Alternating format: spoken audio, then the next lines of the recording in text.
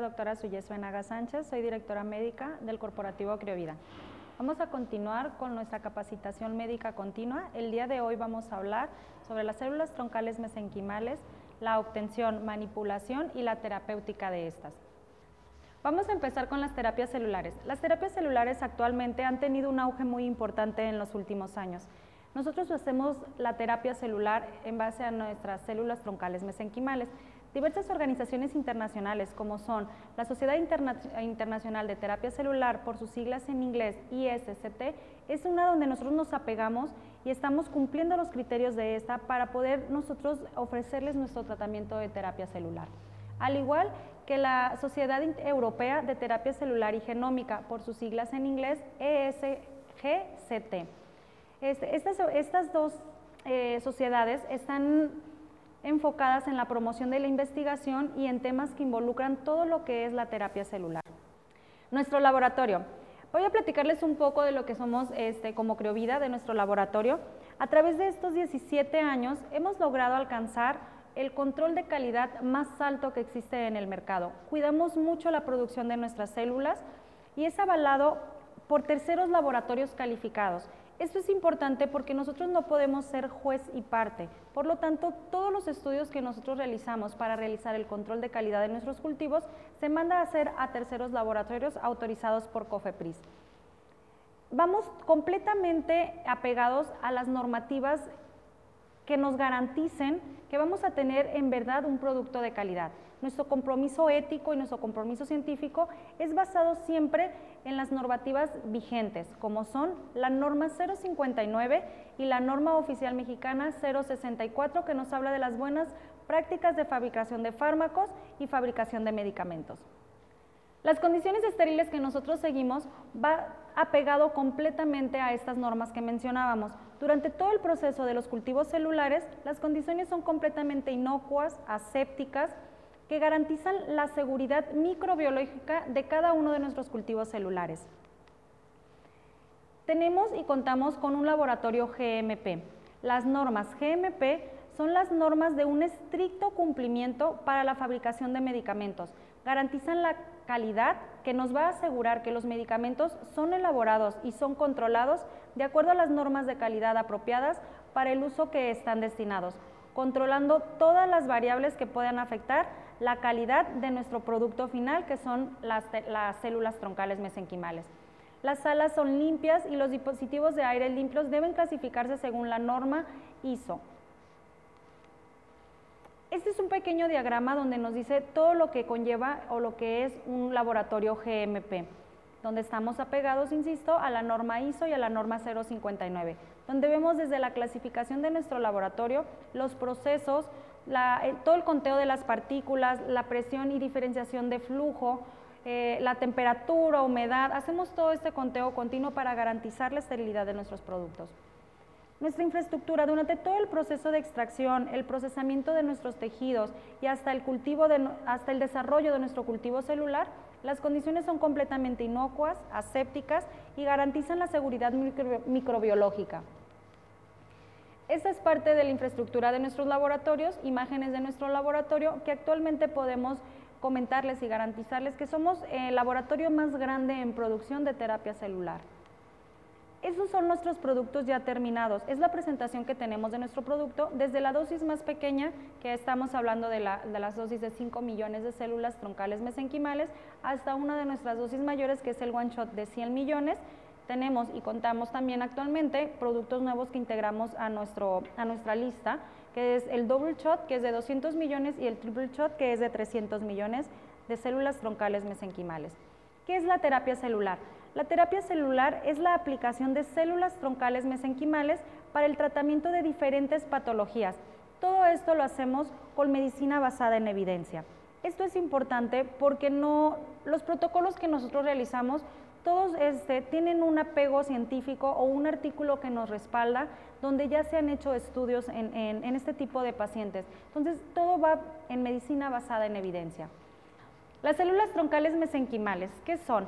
Las células troncales mesenquimales, las es como un sistema natural reparador de nuestro cuerpo. Tiene tres funciones principales las células, que, es la la que pueden diferenciarse a cualquier linaje celular, la autorrenovación y la alta capacidad de proliferación. Este es un pequeño diagrama en el que podemos eh, saber en qué nivel estamos nosotros. Son las células mesenquimales, son células multipotentes. ¿Qué diferencia tenemos con las totipotentes y la, pluripotente? Las células totipotentes, como lo vemos en nuestra imagen, es donde eh, es la fecundación del óvulo y el espermatozoide y nos forma lo que es la mórula. Esas son las células totipotentes. Y vienen las células pluripotentes que vienen a partir del blastocisto, el día 5 del embrión. Estas células son éticamente prohibidas, ahorita vamos a tocar más adelante un poquito el tema. Y posteriormente vienen las multipotentes, que son las células troncales mesenquimales, que son las que estamos este, manejando como criovida. De acuerdo a su origen, se clasifican en embrionarias, en inducidas y en células adultas. Dentro de las células adultas es donde están las células troncales mesenquimales y las células hematopoyéticas. Como lo mencionamos en un inicio, las células embrionarias son consideradas éticamente prohibidas, porque hay que sacrificar la vida de un embrión para poder obtener esas. También es importante mencionar que las embrionarias sí están demostradas que son tumorogénicas, a diferencia de las mesenquimales, que este es un tema que, tiene, que viene de mucha controversia porque muchos cuando escuchan células mesenquimales o células madre, lo primero que se les viene a la mente es eh, la fabricación de tumores o que te puede llegar a generar un tumor.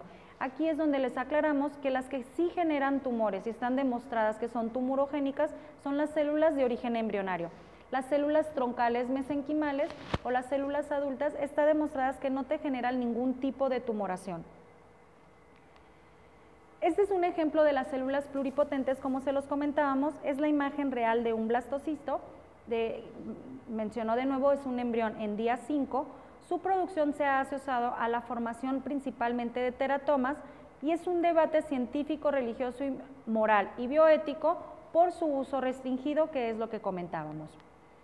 Las características, ya entrando en tema de las células troncales mesenquimales, lo mencionamos, es la regeneración, la inmunomodulación y la histocompatibilidad. La regeneración va a promover la formación de nuevos vasos sanguíneos, activar el crecimiento y reproducción de las células propias de cada tejido e inhibir la muerte celular.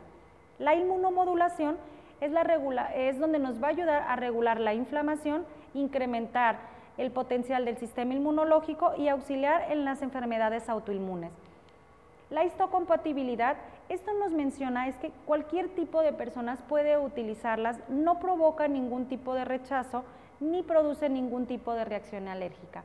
Esto porque no expresan el gen de histocompatibilidad.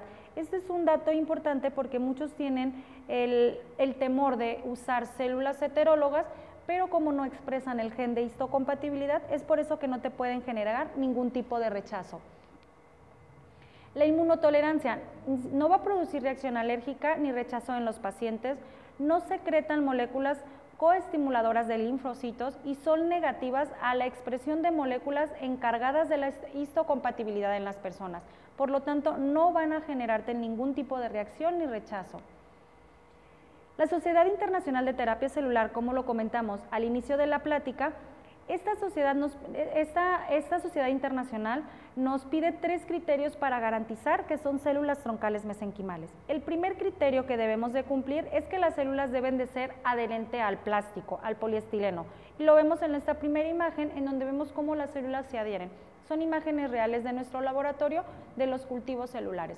La segunda, el segundo criterio que nos pide la Sociedad Internacional de Terapia Celular es que expresen los antígenos CD73, CD90 y CD105 en ausencia de los antígenos hematopoyéticos.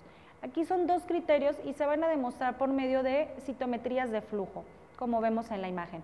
El tercer criterio que nos pide la Sociedad Internacional de Terapia Celular es que las células deben de ser capaces de diferenciarse en tres líneas. Diferenciarse hacia el linaje adipogénico, como lo vemos en la imagen A, Posterior, en la imagen B vemos la diferenciación hacia linaje osteogénico y la, la, imagen C es la diferenciación hacia el linaje condrogénico. Cumpliendo estos tres criterios que mencioné es como podemos garantizar que son células troncales mesenquimales. Las células troncales mesenquimales, ¿dónde se localizan o cómo es que actúan en nuestro organismo? Esta es la teoría de los pericitos. Este, se dice que las células troncales mesenquimales se encuentran adheridas a los vasos sanguíneos, como lo vemos en la imagen, es una imagen real de microscopio, y después es un esquema en el que podemos ver cómo las células se encuentran adheridas a los vasos sanguíneos. Se cree que así es como, es, como estas hacen su función. Se adhieren las troncales mesenquimales, es donde te lanzan señales, las células llegan y ahí es donde se diferencian hacia otro linaje celular. Otra de, las, de, los, de las teorías es por medio de migración o el homing, que aquí las células lo que hacen es, eh, por medio de moléculas, bioactivas, estas, estos receptores de, moléculas nos van a llevar hacia el daño del tejido y nos van a dirigir en dónde es donde nuestro cuerpo requiere, esa reparación. ¿De dónde obtenemos nosotros las células? Existen muchas fuentes de obtención de células troncales mesenquimales. Como vemos en la imagen, existen desde hueso, sangre de cordón umbilical, de gelatina de Wharton, del cordón umbilical como tal, de la decidua, de ligamentos, del líquido amniótico, de la pulpa dental, existen de tejido adiposo, existen diferentes tipos de, obtención de, de, células troncales mesenquimales, de las fuentes que principalmente utilizamos nosotros es la de tejido endometrial y también utilizamos de médula ósea y de grasa. La selección preclínica de los donadores es, es muy importante para nosotros porque desde ahí debemos de seleccionar quiénes van a ser nuestras donadoras. Como lo mencioné, una de nuestras principales fuentes de obtención es el tejido endometrial, por lo tanto nuestras donadoras serán mujeres. Cada candidato posible debe pasar por diferentes filtros que garanticen un mayor porcentaje de éxito al momento de la obtención celular. Desde una historia clínica, esto es lo primero que hacemos, es nuestro primer filtro, lo que es la historia clínica la edad, la salud del paciente, que no tenga ningún antecedente familiar. Posterior hacemos cariotipo y realizamos la fuente de obtención en lugares y condiciones completamente estériles. Los, los, aspectos a considerar en la selección preclínica de las donadoras es el tipo de terapia celular, la calidad del tejido, el método de obtención, la cantidad, de, la cantidad celular deseada y la patología que vamos a tratar. Todos son, son aspectos que debemos de considerar antes de seleccionar a nuestra donadora. Una vez que nosotros cumplimos con todos los criterios de selección, entonces sí pasamos a realizar las pruebas y los cariotipos necesarios. Los serológicos es uno de los preclínicos que utilizamos. Los donadores de tejido deben de eh, ser minuciosamente estudiados antes de aceptar cualquier tipo de tejido.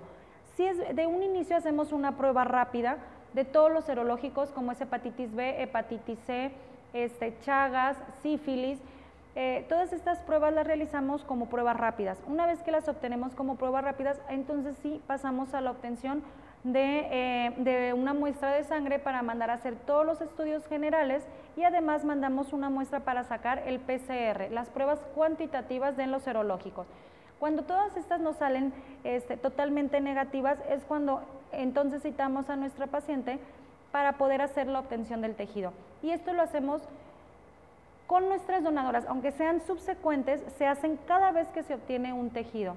El monitoreo de los cultivos celulares una vez que ya obtuvimos nuestro tejido, posteriormente pasan al laboratorio donde ya llevan a cabo como tal lo que es el cultivo celular. Y es muy importante llevar un monitoreo muy estricto de este cultivo celular. Durante el, desarrollo de cada cultivo celular deben mantenerse estrictos controles para el monitoreo de las condiciones físicas, condiciones químicas, biológicas y morfológicas de cada cultivo celular. Estas son imágenes de nuestras células cuando éstas empiezan a hacer su crecimiento. El monitoreo de los cultivos celulares es muy importante porque así nuestras, nuestras químicas, las biólogas que se encuentran en día a día el contacto con nuestras células, ellas pueden detectar cualquier patógeno que se encuentre, cualquier eh, cambio que se encuentre dentro del cultivo y se actúa de inmediatamente. Una vez que ya cumplimos con todo el screening de donación y que ya tenemos todos nuestros cultivos, mandamos a hacer aparte a todos los cultivos celulares todas unas pruebas eh, específicas como son las endotoxinas, hacemos también micoplasma y mandamos a hacer la citometría de flujo para garantizar la viabilidad celular. Eh, todo esto lo plasmamos en un certificado de calidad que este entregamos con cada lote que sacamos de nuestras células. Las células troncales mesenquimales poseen ciertas propiedades que van a ser las que nos van a dar los resultados al utilizar estas células en diferentes patologías. Estas favorecen la regeneración de diferentes órganos y tejidos, van a modular el sistema inmunológico, disminuyen la inflamación, favorecen la angiogénesis e inhiben lo que es la apoptosis. Este es un esquema donde podemos ver estos mecanismos que decimos que son parte de las funciones de las células y es cómo actúan ya dentro de, nuestro organismo estas células. La inmunomodulación, antiapoptosis, angiogénesis, este, lo que es la, antifibrosis y la quimiotracción. Es como ellas van a llevar a cabo la función ya dentro de nuestro organismo para así poder realizar este, nuestros diferentes protocolos para diferentes patologías. Dentro de la inmodulación eh, se lleva a cabo por dos, por dos factores. Tenemos los factores solubres y el contacto célula-célula. Es como van a llevar a cabo las células troncales mesenquimales este proceso de inmunomodulación donde viene un intercambio. El efecto regenerativo de las células madre lo resumimos, lo resumimos en esta diapositiva. Ya estoy por terminar, solo para saber cómo es que van a actuar ya las células con todo lo que hablamos dentro de nuestro organismo. Sé que ya les han venido hablando más a fondo de toda la, inmunología, de todo lo de las células, por eso no, no, entré mucho a detalle, pero en esta imagen podemos saber cómo es que la célula va a tener ese efecto regenerativo dentro de nuestro organismo. La primera imagen o la, las primeras curvas que vemos, estamos hablando de que cuando un bebé nace, cuando nace el bebé, el proceso de inflamación del bebé es muy mínimo el proceso de regeneración tiene una curva completamente alta y la fibrosis prácticamente nula.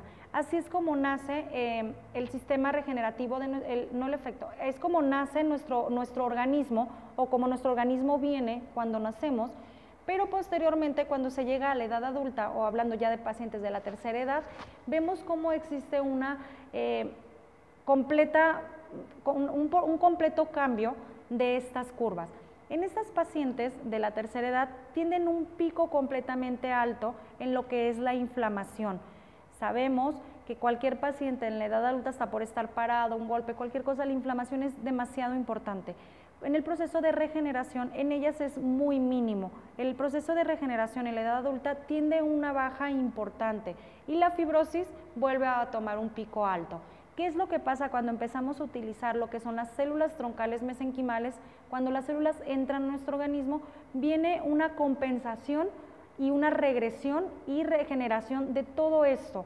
Vemos cómo el proceso de inflamación tiende a bajar, vuelve a aumentar todo el proceso regenerativo y la fibrosis tiende a disminuir. Así es como se lleva a cabo el efecto regenerativo de las células troncales mesenquimales. Y vías de aplicación, una vez que ya vimos cuál es la función de las células, cómo actúan dentro de nuestro organismo, podemos desarrollar diferentes protocolos y dirigirlas a diferentes patologías. En la imagen anterior también pudimos ver que las células pueden ser utilizadas desde un bebé hasta un adulto. ¿Cómo las puedo utilizar? Estas son las vías de aplicación de las células troncales mesenquimales. La vía más común o más sencilla es la vía intravenosa. Las células son vivas, tenemos que cuidar mucho porque nosotros les garantizamos cómo se las entregamos. Entonces es muy importante la manipulación también posterior a, la aplicación, perdón, antes de la aplicación, una vez que salen de nuestro laboratorio. Y es mantenerlas siempre en red de fría. Una vez que ya las tenemos con nosotros, ¿cómo las puedo aplicar? Les comentaba, la forma más sencilla de aplicar es la intravenosa. Es cargar la, la jeringa como tal y aplicar la vía intravenosa directa sin diluir.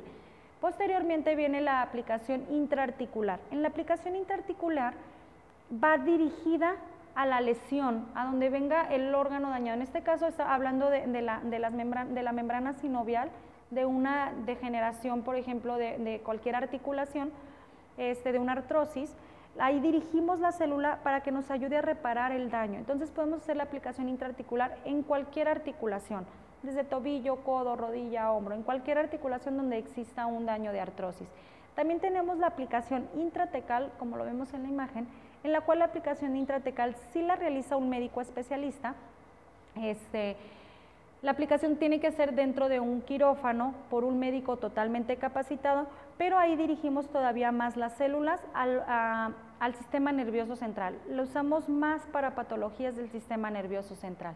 También tenemos la aplicación retrovulvar, que esta va más dirigida a pacientes con degeneración macular o algún tipo de problema este, ocular. La aplicación, como les comento, es retrovulvar. De la misma forma les comento, tiene que ser por médicos capacitados para realizar este tipo de aplicación. Y otra de las aplicaciones con muy buenos resultados es la aplicación intraarterial o vía cateterismo. Esta la hacemos para dirigir la célula directamente al órgano dañado. La hacemos vía cateterismo, generalmente se entra por la arteria femoral.